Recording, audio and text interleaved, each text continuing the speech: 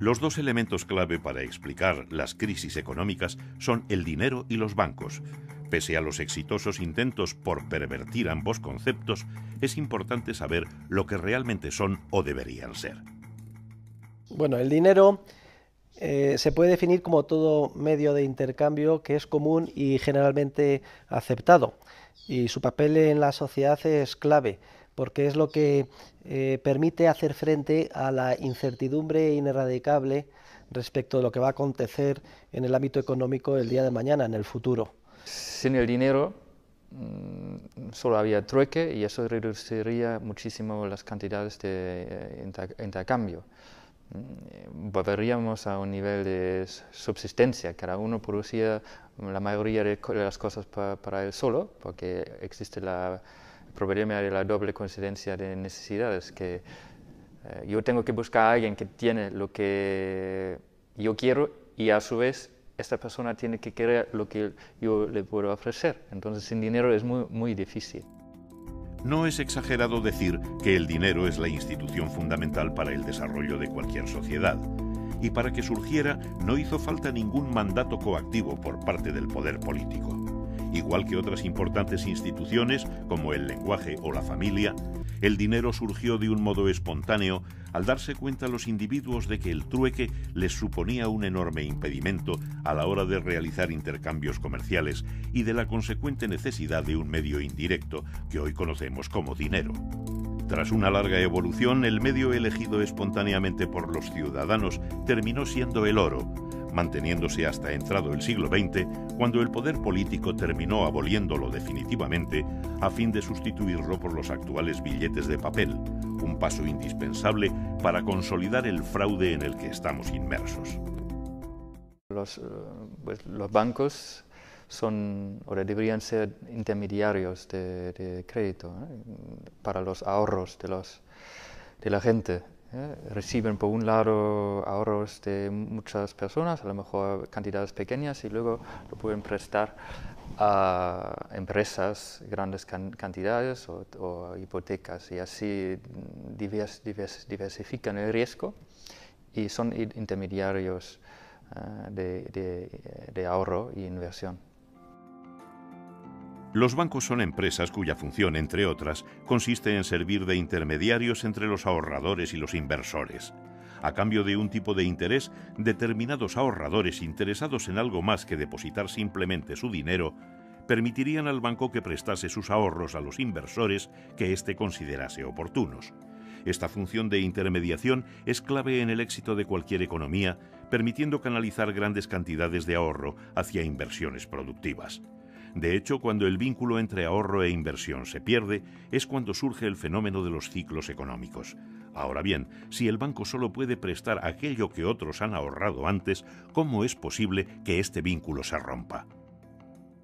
Lo que pasa es que pronto los eh, depositarios, es decir, los banqueros, eh, se vieron tentados para incumplir eh, digamos, las obligaciones tradicionales que los principios generales del derecho exigen en el caso del depósito. Y, viendo que ese dinero estaba ahí ocioso, dijeron, ¿por qué no, no, nos apropiamos de él si no hacemos ningún daño a nadie y lo utilizamos en nuestros negocios particulares? ¿eh? Sobre todo teniendo en cuenta que muy de vez en cuando el propietario original va a venir a demandar que se le devuelva el dinero que depositó. Y entonces surge lo que se conoce con el nombre de la banca eh, con reserva fraccionaria, que es aquella que solo aguarda en su, en su caja una fracción del dinero de verdad que se le ha, que se le ha depositado. The heart of it all, the big macroeconomic problem that we have is that banks are allowed to lend money into existence, to do it without any real practical limit, and that's created all this discoordination and the crisis and the collapse. So there's an enormous amount of suffering and injustice has been created by these banking institutions. I think it's one of the biggest moral questions of our time.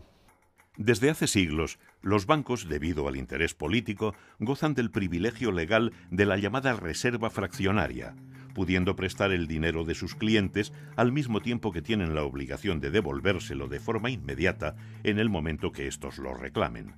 De este modo, el banco rompe el vínculo entre el ahorro y la inversión al verse privilegiado para poder prestar el dinero de cada uno de sus depositantes, lo quieran estos o no, expandiendo el crédito de forma artificial o, lo que es lo mismo, creando nuevo dinero. Así, cuando una persona deposita 10.000 euros en el banco, este, en vez de guardarlo todo, solo está obligado a guardar legalmente un 2%, pudiendo prestar a otro cliente el resto. Este cliente lo usará para, por ejemplo, comprar un coche. De este modo, el vendedor del coche ingresará este dinero en otro banco que a su vez solo guardará el 2% y volverá a prestar el 98% restante en un proceso que podría repetirse hasta 50 veces. En nuestro caso, con una base de dinero efectivo de 10.000 euros iniciales, se llegaría a obtener una oferta de 500.000 euros, siendo este dinero de nueva creación la semilla que alimenta la crisis. Pese a que no podamos establecer un punto claro en la historia a partir del cual comenzó a forjarse el fraude, es verdad que se encuentra un buen antecedente cuando en el año 1844, en Inglaterra, hartos de los continuos ciclos económicos de burbujas y recesiones, exigieron con la llamada ley de Peel un coeficiente de caja del 100% en dinero de verdad, que entonces era oro, en relación con la emisión de papel moneda. El problema es que los legisladores olvidaron incluir también la prohibición de emisión sin respaldo a los depósitos a la vista, de modo que los bancos, sin necesidad de emitir papel moneda, podían seguir creando nuevo dinero mediante simples apuntes contables en sus libros. Claro, eh, esto hizo que los ciclos continuaran, las burbujas continuaran. Las burbujas, resultado de la creación de préstamos sin respaldo de ahorro real, que terminaban en última instancia en una crisis financiera cuando la gente se daba cuenta de que todo era artificial. ¿no? Entonces, eh, se pone de manifiesto que cada un número regular de años los banqueros privados, cuando vienen las crisis financieras, son insolventes porque no tienen el dinero en efectivo, en oro, necesario para devolver todos los depósitos que han creado.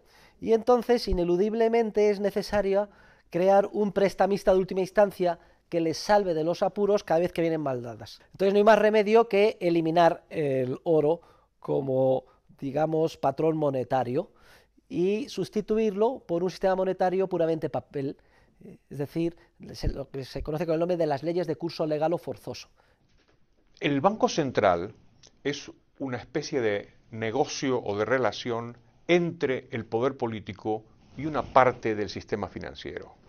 Originalmente los bancos centrales eran privados. Entablaron una relación con el gobierno de tal manera que el gobierno les decía, te otorgo el monopolio de la emisión de moneda, que es un negocio extraordinario, y a cambio tú me financias. Luego vemos cómo el error de la ley de Peel lleva, por un lado, a la aparición del prestamista de última instancia, el Banco Central, y por otro lado, a la eliminación paulatina del oro y a su sustitución por un sistema puramente fiduciario tipo papel, en este caso, eh, libras de papel. Whereas in 1971, um, the Bretton Woods system folded completely with um, the closing of the gold window by the Nixon administration in the US. leading us into a world of global paper currencies where every currency in the world is uh, confidence based as opposed to being physically backed. En conclusión, el sistema financiero actual, basado en la creación de los bancos centrales, la sustitución del dinero real por billetes de papel y el privilegio legal a los bancos privados para que puedan manejar a capricho los ahorros de sus clientes, es la clave para que el poder político siga a costa de su propia supervivencia, provocando tanto las crisis económicas como sus dramáticas consecuencias. ¿Y quién paga todo esto? Pues los usuarios de la moneda. En, en, este sentido, es un gran fraude. La clave del sistema es que se trata de una especie de fraude legal. Ni siquiera los banqueros privados a nivel individual son conscientes del enorme daño que hacen creando de la nada créditos con cargo a depósitos de nueva creación, que son sus asientos en el pasivo de sus balances. El sistema monetario es un sistema legal, tiene todos los plácemes de las constituciones y las leyes. Dentro de ese sistema es donde se generan unos procesos especulativos de burbuja y finalmente de crisis.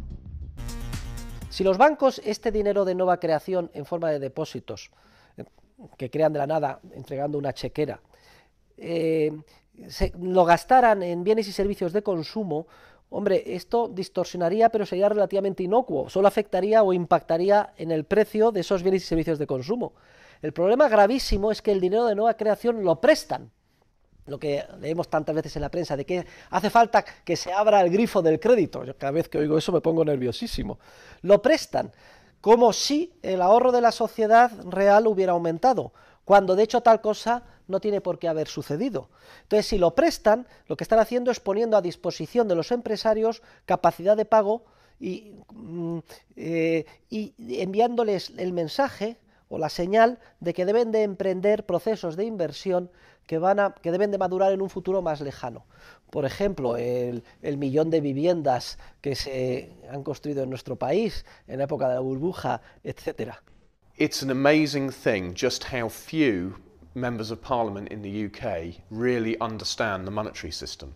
It's such a fundamental institution in a, in a society based on the division of labour and yet most members of parliament don't study money. Even members of parliament who are good economists don't usually study the institution of money itself and the real details of the way banking works.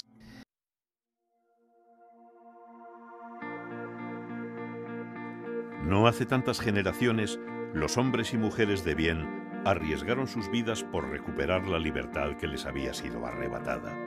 Muchos murieron en el intento.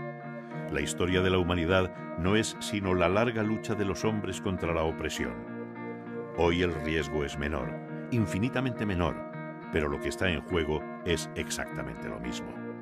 Hemos visto cómo los individuos han enfrentado multitud de crisis a lo largo de la historia, y de todas ellas han salido con un poder político más fortalecido. ¿Hasta cuándo seguiremos cometiendo el mismo error? Tenemos la obligación moral de conquistar para siempre la libertad. Es nuestro momento. Y separar completamente el poder político de las finanzas es el paso fundamental para conseguirlo. Solo así alcanzaremos la verdadera libertad y con ella la paz y la prosperidad. De nosotros depende.